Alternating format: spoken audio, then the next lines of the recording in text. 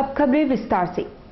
हजारीबाग स्थित बड़का गाँव मामले पर प्रदेश अध्यक्ष लक्ष्मण गिलवा ने कहा कि जाँच में जो दोषी पाए जाएँगे, उन पर सख्त कार्रवाई होगी।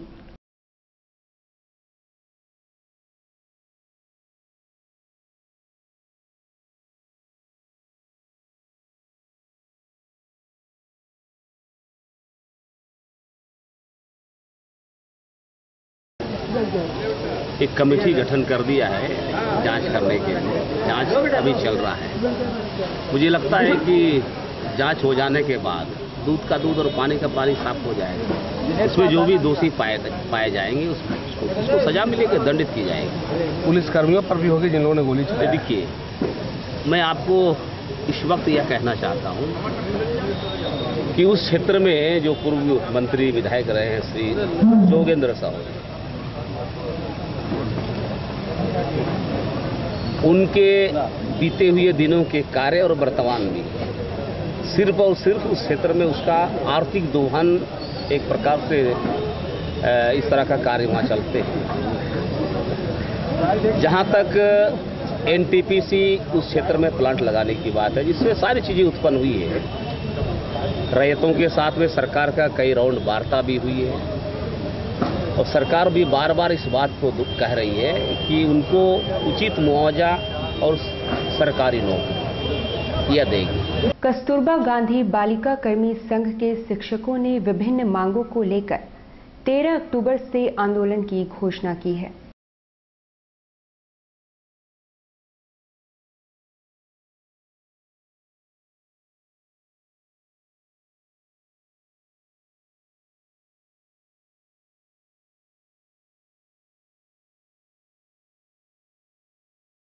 मेरा सुमन रानी है। और हम लोग की मांग है कि स्थायीकरण करना है और आपका सैलरी बढ़ाना है पेमेंट और उसके बाद हम लोग तेरह तारीख से पूरा पूर्ण आंदोलन पर जा रहे हैं। मांगे हम लोग को सबको नियमितीकरण किया जाए किस चीज़ स्कूल के टीचर सभी को। हम लोग को जो कम वेतन में मिल रहा है हम लोग आज कस्तूरबा का इतना मतलब क्या बोले नेशनल लेवल तक हमारे बच्चे जा रहे हैं। हम लोग इतना मेहनत कर रहे हैं। कड़ी मेहनत से बच्चों को सारा प्रिफरेंस आज इस डिस्ट्रिक्ट में पूरा रिज़ल्ट हमारे कस्तूरबा के बच्चे ही आ रहे हैं। खेल से लेकर के सारे चीज़ में हमारे एक्टिव है बच्चे। ऐसा नहीं है। खेल से संबंधित बोलिए आपका पढ़ाई से संबंधित बोलिए डांस का सारा चीज़ में हंड्रेड परसेंट रिज़ल्ट हमारे का तो क्या मांगे हैं? मांगे हमारा नियमितीकरण क्योंकि है हम लोग संविदा कर्मी है। क्या नाम गया है।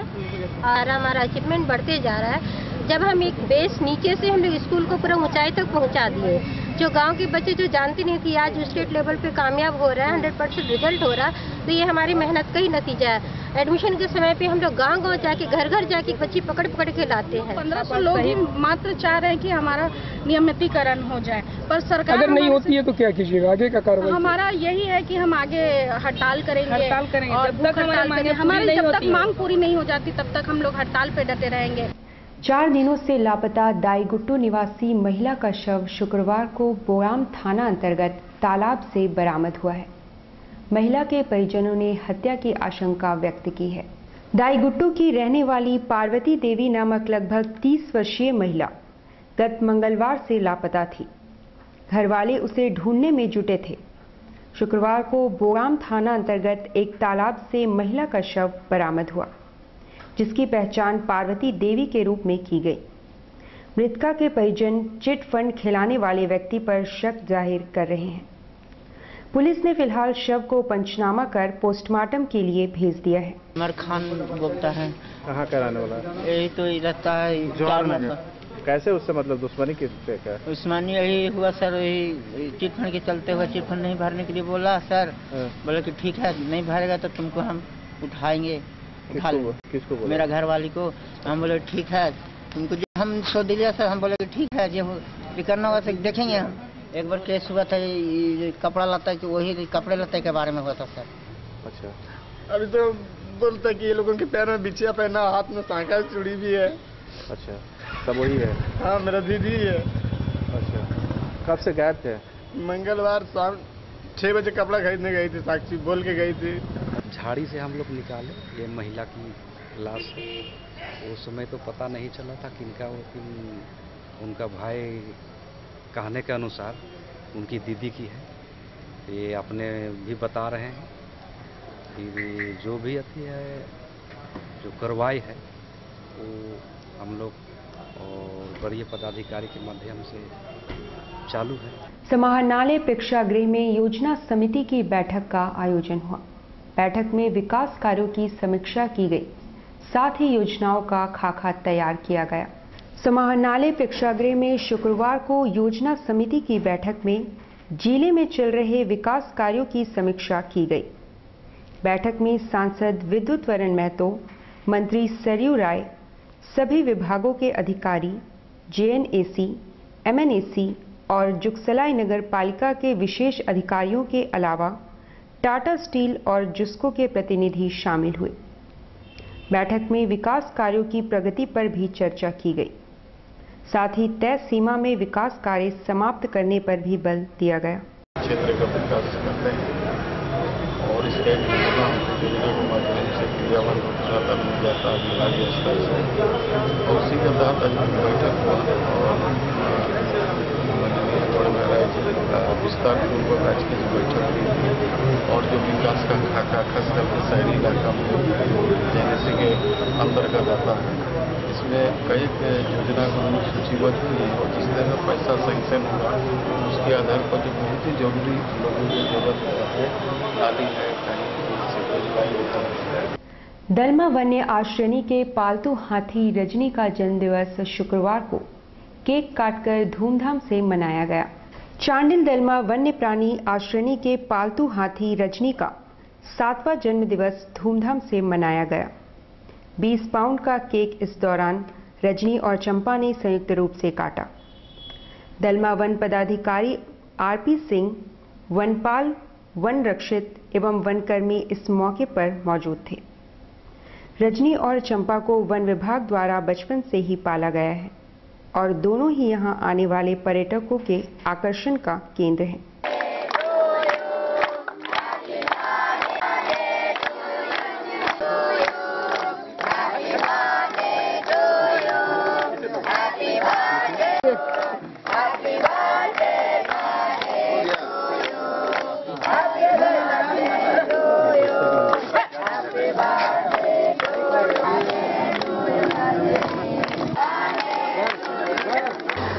मेरा नाम रोहित मोदी है और मैं मध्य विद्यालय आसनमणि मतलब पास में ही है।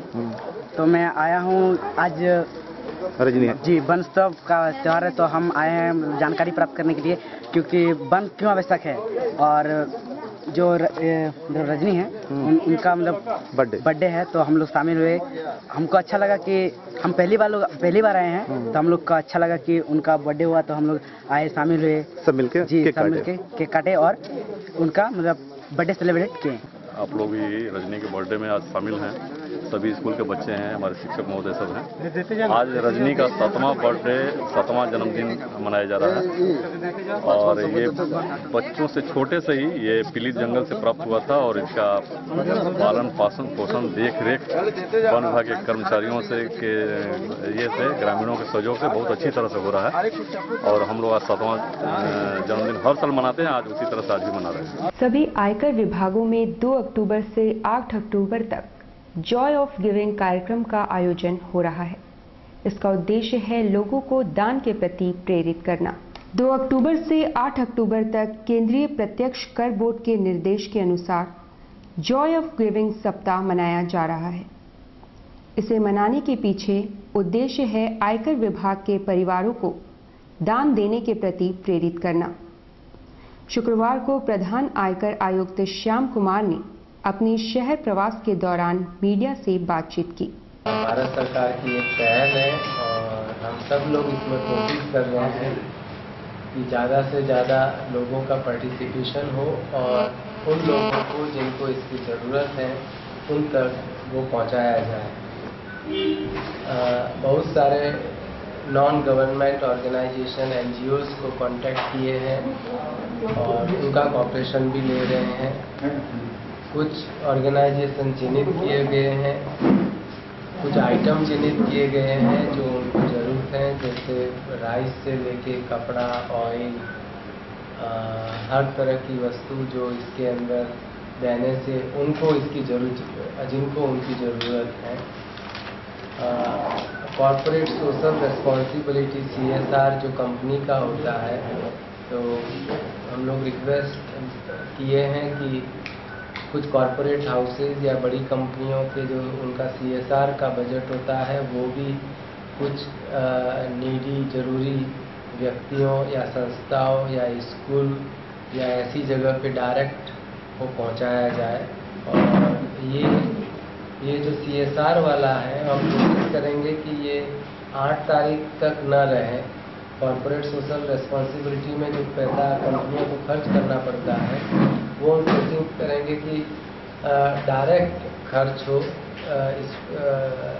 स्पेशली जो आ, सरकारी विद्यालय हैं स्कूल है प्राथमिक विद्यालय हैं जहाँ पे सुविधाओं की कुछ कमी होती है। कुछ ऐसे प्राइमरी हॉस्पिटल भी हो सकते हैं जहाँ पे कुछ चीज़ों की कमी हो सकती है। तो सी को हम ट्राई कर रहे हैं कांटेक्ट करके उनको इसके अंदर भागीदारी बनाने के लिए। स्वच्छ भारत मिशन के तहत ज़िले में स्वच्छता विभाग के सचिव अमरेंद्र सिंह ने समीक्षा बैठक की और अभियान को ज़ोर शोर से चलाने पर बल दिया। समीक्षा बैठक मांगीलाल रुमटा प्लस टू विद्यालय में हुई जिसमें पश्चिमी सिंहभूम के उपायुक्त शांतनु कुमार अग्रहरी और विकास आयुक्त चंद्रमोहन प्रसाद कश्यप, पेयजल एवं स्वच्छता विभाग के कार्यपालक अभियंता सुनील कुमार भी मौजूद रहे। सचिव ने जानकारी ली कि ज़िले में स्वच्छता अभियान की क्या स्थिति है? कितने प्रखंड ओडीएफ यानी खुले में शौच से मुक्त हो गए हैं? उन्होंने स्वच्छता अभियान के प्रति सबको गंभीर रहने की अपील की। कहा कि इसे सफल बनाने के लिए सबकी सहभागिता ज़रूरी है।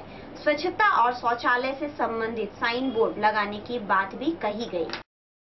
भाजपाइयों ने सर्जिकल स्ट्राइक पर सवाल खड़ा करने वाले दिल्ली के सीएम अरविंद केजरीवाल और संजय निरुपम का पुतला फूका। भाजपा कार्यकर्ता पोस्ट ऑफ़िस चौक पर जमा हुए जहाँ पुतला दहन किया गया। भाजपा ने सेना का मनोबल गिराने और देश विरोधी बयान देने वालों पर सख्त कार्यवाही की मांग की। फांसी दो। देशद्रोही बयानबाजी करने वालों को फांसी दो। आज भारतीय जनता पार्टी चाबासा नगर की ओर से संजय निरुपम अरविंद केजरीवाल का पुतला दहन किया गया। ये भारत के नेता बनते हैं और भारत विरोधी नारे लगाते हैं, भारत विरोधी नारे लगाते हैं, पाकिस्तान की सेनाओं का सपोर्ट करते हैं और भारत की सेनाओं का मनोबल को गिराने का कोशिश करते हैं। ऐसे दोनों नेताओं को हम आग्रह करते हैं कि फांसी दिया जाए। भारतीय जनता पार्टी की ओर से इन लोग के खिलाफ केस दर्ज कराया जाए और हम माननीय नरेंद्र मोदी जी से कहना चाहते हैं कि ये लोग को फांसी दिया जाए और उचित से उचित इन लोग को कार्रवाई किया जाए और बीच चौक में चिंदा जला दिया जाए। जैसे यहाँ पर हम लोग उनका पुतला दहन